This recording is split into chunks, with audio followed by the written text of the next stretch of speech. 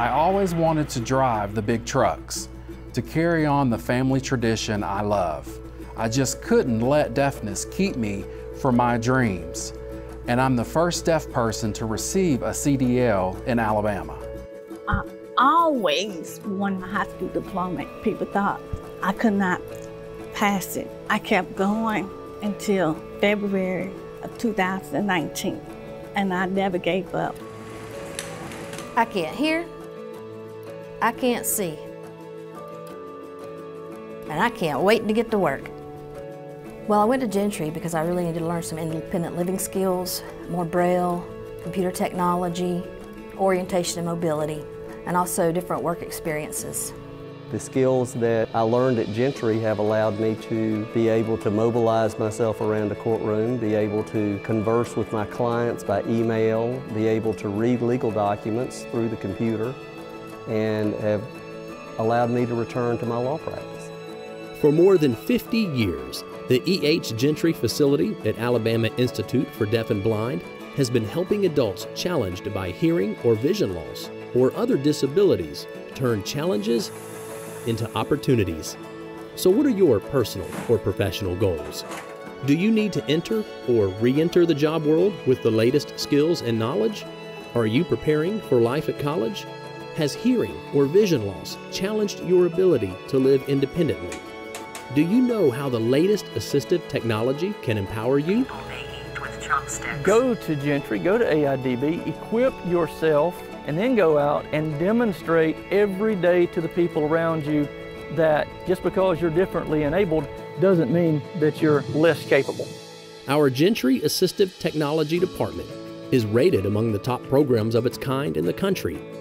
And our adult education program is one of the top performing programs in Alabama's post secondary institutions, with a high percentage of our students earning an Alabama Certified Workers Certification. The Gentry facility and AIDB work closely with the Alabama Department of Rehabilitation Services to ensure that our students' education experience and goals are successful. Gentry is accredited by the Commission on Accreditation of Rehabilitation Facilities. Our business at AIDB is personal. And our business at Gentry is about developing relationships with people. And through those relationships, we're able to design programs that are individualized for each one of our students. And with the right technology and the right training and the right motivation, they can accomplish anything they want to accomplish. Their outcomes can be and are limitless. And because our business is personal, our students benefit from a variety of services tailored to tracks for the deaf and hard of hearing, for the blind and low vision, for the deaf-blind, or a general services division. Students can start with an evaluation or our popular Jumpstart program. Some may need to learn to cook, manage a home, or their banking. Others may enroll in academics to learn Braille, math, or communication skills, enroll in dual college study programs, earn their GED or high school diploma.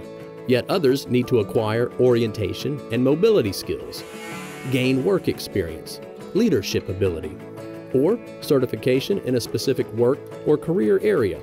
In our dorm and independent living settings, we offer opportunities for recreation and to build mentoring relationships.